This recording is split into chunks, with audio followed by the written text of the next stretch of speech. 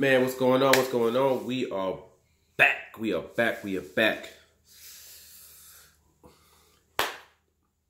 My saying that I always say. You know what I mean? Bob Arum has a saying, and that is fans are like dumb rocks that you can throw in any direction. And now what I always say is don't be that dumb rock that gets thrown in any direction. And one of the major things that I always like to say is, you know, don't let the love of boxing blind you to the realities of what's going on. Now we have Gary Russell, we have Devin Haney. Um, I put my feelings out about the fight previously.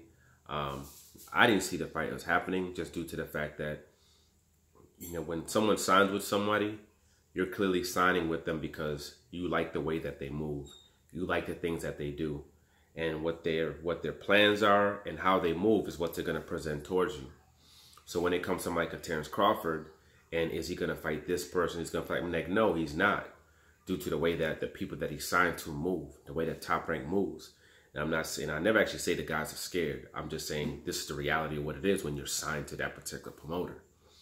When you're signed to someone like Eddie Hearn, which Devin Haney is, people he likes to say that, oh, I'm my own boss, this and that. But at the end of the day, whenever you hear his father speak, well, when we went back to Eddie and he called them it's always Eddie, Eddie, Eddie. So you're answering to somebody. It's never, oh, when I when I contacted DAZN, when I contacted whoever the head is. When you hear a lot of these fighters speak, let's say on PBC, what they always say is when I contacted Al Haymon. The only person naming pro another promoter is Gervonta Tank Davis, obviously because he signed to Mayweather Promotion. But even he also speaks directly with Al Haymon. But you know, with Devin Haney, it's always when I speak to, you know, and Bill's always when I speak to Eddie. Right now, a contract was sent out, you know, for I guess Devin, uh, a term sheet, not necessarily a contract yet. They're on that term sheet phase, and on the term sheet, there were certain things that were already sketchy on the term sheet, you know. And I said before, one of the things I said before was, you could say, hey, you know, you can agree to certain things, but when you get the contract or the term sheets, it could be something completely different or not exactly what you thought, especially when it gets to intricate details.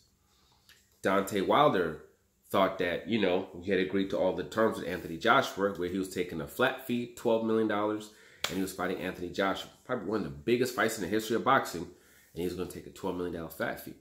Agreed to all the terms. On or even the term sheet, he gets a contract to sign. There's no date, there's no venue where he signs that contract, he's now bound to them. He's bound to them. You know, so, and then, you know, so it wasn't what they said it was going to be. This particular contract comes in, you know, to Devin, uh, to, to, to Gary Russell Jr., and there's no, the promo, there's no promoter or network on that contract. You know, it's just something from, you know, from Bill Haney saying, hey, you know, yeah, this fight goes forward if DAZN and if Eddie, you know, Matchroom agree to it. So the network's not even on board with it. Okay, the network's not on board. Um, Eddie Hearn's not on board right now. Okay, which then becomes a major issue because then it's, hold on. We agreed to, you know, to the 1.5 million. So where's this 1.5 million coming from exactly? Where's 1.5 million? Because DAZN didn't give it to you. DAZN never agreed to it. So they haven't even said okay to the fight yet. So where's the 1.5 that you that you said okay to? Where's that money at? And it turns out what Bill and them are trying to do is the money November 7th, the date that Devin Haney is supposed to fight, and the purse that he's supposed to get on that particular date they're trying to basically give that money to Gary Russell somehow.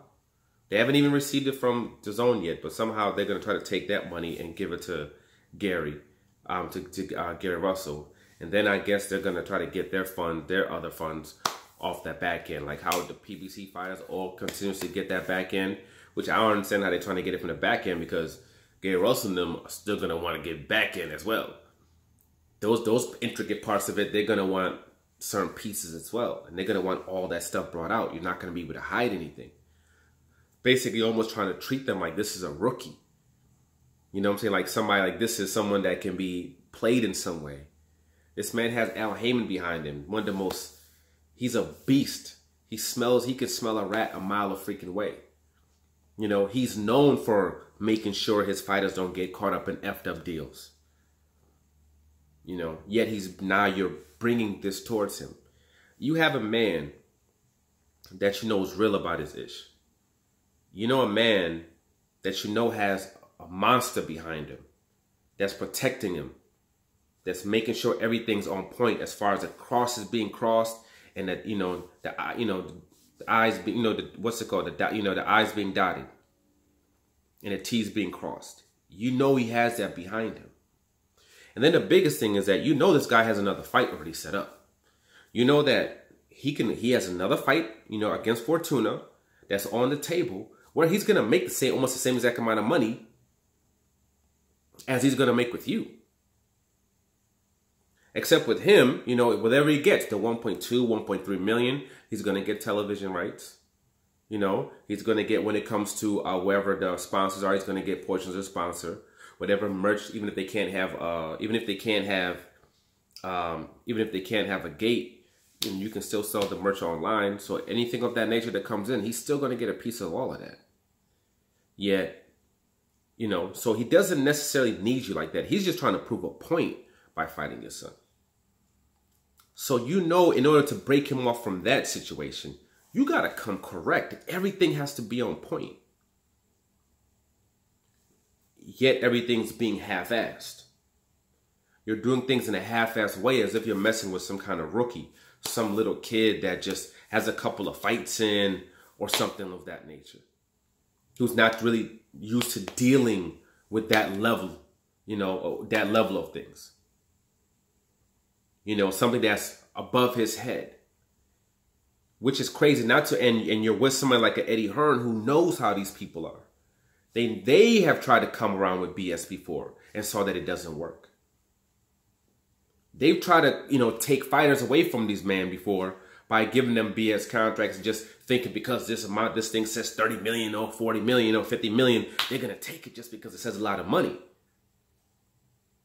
And we're seeing right now why they didn't take that with Canelo having a lawsuit because these people trying to only pay him half. Turns out everybody else is trying to do pay cuts with them. When it comes to Gennady Golovkin might be filing a lawsuit soon because they want to cut his pay in half as well. So now he, you know, so he's trying to get out of that contract as well now. You got a beast that can see anything coming a mile away, can see things coming a year, two years down the line. He's five, six steps ahead of you. He's a master at chess. It's checkmate, checkmate, checkmate, checkmate, checkmate, checkmate, checkmate every single time and you're coming at him with chess moves. You're playing Connect Four with him. This man's playing chess. You're literally playing Connect Four. Where you know everything needs to be completely on point before you come at this man. He already has a plan to get to Devin. You know, that's what Gary Russell wants. Cool. We get you about 1.2, 1.3 million. You fight, you know, Fortuna. You beat Fortuna. You become the mandatory. We'll just automatically schedule this thing for purse bid. We'll win the purse bid. We'll have 100% full control of this fight against Devin Haney. They already have something in the pocket. Bullets in the hole. Guns cocked, ready to blow. They're just off the strength of him being a real man and him having certain level of respect for you as well. You know, and him not liking the things that have been said about him and the way people are talking about him and him just strictly having something to prove is like, nah, I'll work with you and I'll come, I'll do things on your terms. So we can handle this now. But then you're coming to him sideways. So like I said before as well, I hope I'm wrong. You know, it's always a great day when you're wrong about something and something good comes out of it. And if these two were to fight, I don't care where they fight, whether it be on Showtime, Fox, if they were to fight in DAZN, it'd be awesome. So I'd be happy to be wrong. I'd be 100% happy to be wrong. And some people talking about, oh, well, Devin, you know, maybe now Al Haymon can put up the money and, and, and Devin can go fight on Fox and people. Matchroom, DAZN, have a lot of investment in this kid. They don't, they don't want him to even fight Gary Russell. They don't want him to fight any live body anytime soon. That's number one. Number two, they are not letting him fight on another network. They're going to say, hey, we have your 1.5 that you're supposed to be getting paid, and we have you Gary Russell, and we have you um, Gamboa or whatever other stiff they have for him available right here. And we and we're going to fight on this date on November 7th. So if you want something else, we can maybe set up something else. Cause I guess that's the date that they have is November 7th.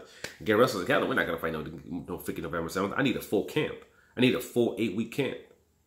You know, where you can get sparring partners, you know, get everything specific to that particular guy, all that stuff. I need all that. And now they want to have him sign some deal and fight him within six weeks' notice. Hopefully I'm wrong, but I don't think I'm wrong. You know, but right now the way things are going, they're going out about they're coming at this man in a half-assed way. And that's just not going to get things done. But we'll see. And like I said, I hope I'm wrong when it comes to this. You know? But I'm not letting the love of boxing blind me to the realities of what's going on. You know? When you're lying around with dogs, stray dogs, you're going to get fleas too. And that's what it's looking like right now. But we'll see. Like, subscribe, share. I'm out.